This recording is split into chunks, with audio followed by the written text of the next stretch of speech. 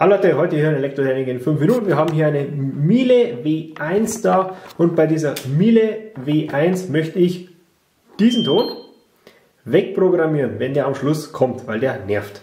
Wie mache ich das? Ganz einfach, ich gehe hier unten auf weitere Programme, dann gehe ich hier auf runter bis Einstellungen kommen, drücke auf OK, dann auf Summerlautstärke, drücke auf OK.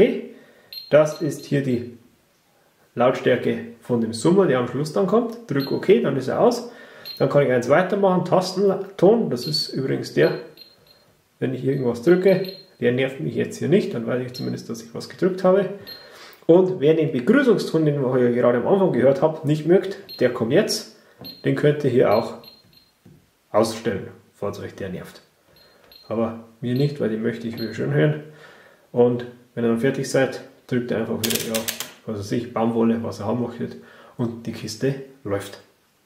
Ja, hoffe, dieses Video hat euch gefallen. Falls ja, Daumen hoch oben dürft ihr gerne abonnieren. Hier geht es weiter mit einem weiteren coolen neuen Video. Macht's gut, tschüss und auf Wiederschauen.